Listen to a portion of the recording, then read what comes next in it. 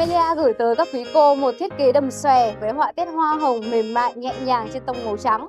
Được sử dụng chất liệu tờ ảnh cao cấp, mềm mại, thoáng mát và giúp thấm hút mồ hôi, chắc chắn đây sẽ là một sự lựa chọn tối ưu dành cho các quý cô.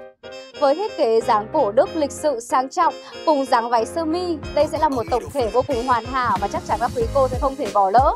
Mang tới phong cách Hàn Quốc, đây cũng là một phong cách mà các quý cô công sở luôn theo đuổi.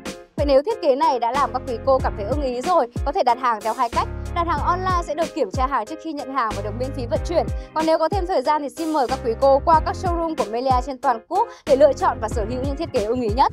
Thương hiệu thời trang thiết kế cao cấp Melia luôn đồng hành cùng các quý cô trên hành trình chinh phục mọi thành công.